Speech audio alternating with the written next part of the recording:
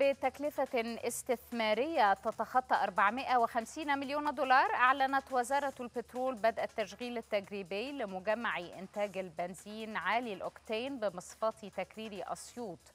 المشروع الجاري تنفيذه يعد أكبر مجمع لإنتاج السولار في أسيوط التابع لشركة أنوباك حيث يجري بالتوازي مع أعمال التوسعات والتطوير تنفيذ عملية تطوير شامل ورفع كفاءة للمنطقة الجغرافية البترولية في أسيوط للحفاظ على أصول الدولة ومواكبة الحداثة والتطور.